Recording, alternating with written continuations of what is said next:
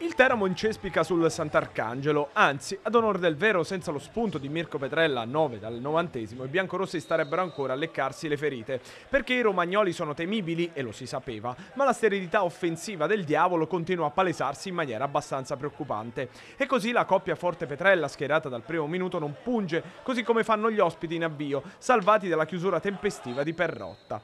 Forte al tredicesimo scalda i guantoni da piazzato di un attento Nardi, bravo a dire di no alla botta sul palo di competenza.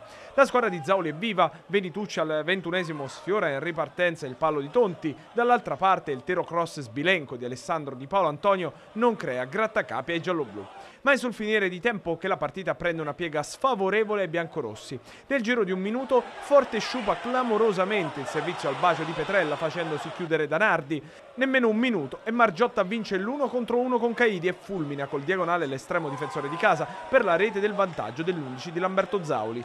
Rientrato dagli spogliatoi, il Teramo prova ad aprirsi un varco nella retroguardia romagnola. Peterella non inquadra lo specchio della porta, ma senza l'angolo giusto per provare a far male. Allora i biancorossi ci provano dalla distanza. Cenciarelli dal limite, fuori. Cruciani invece la porta la prende, ma in maniera fiacca.